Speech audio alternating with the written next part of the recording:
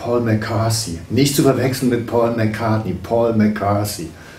Der Mann ist auch musikalisch, aber äh, war nie Mitglied bei den Beatles. Ähm, nein, ist einer der legendären äh, West Coast Künstler aus den USA, ähm, die, der sein Werk so in den späten 60er, 70er Jahren entwickelt hat, der sehr stark auf die, sag ich mal, amerikanische Popkultur, Populärkultur äh, sich bezieht, ähm, aber sich natürlich auch mit großem Witz und äh, herrlicher Ironie auch über dieses ähm, bürgerliche Ideal der US-amerikanischen und im weitesten Sinne auch der westlichen Gesellschaft irgendwie lustig macht. Ne?